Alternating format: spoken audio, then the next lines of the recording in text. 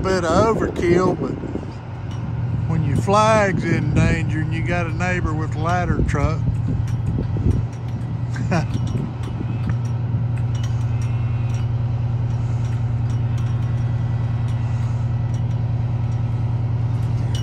we ain't got up so hard it ripped the flag up and it got hung up on the top of the pole. It was about to bend the pole. Luckily I got a neighbor with a fire truck. They come over here and gonna get it off for me.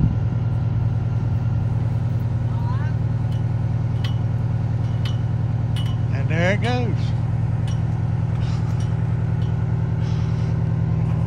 Go ahead, drop it. I'll get it.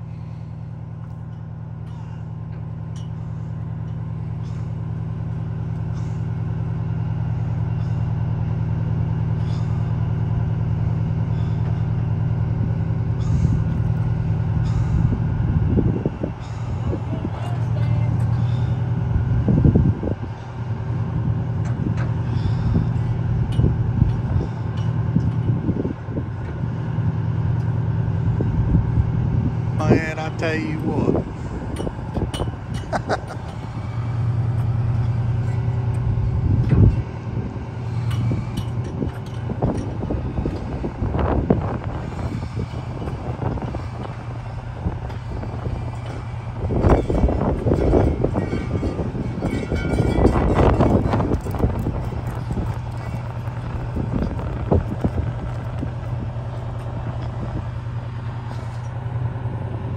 There it is, people.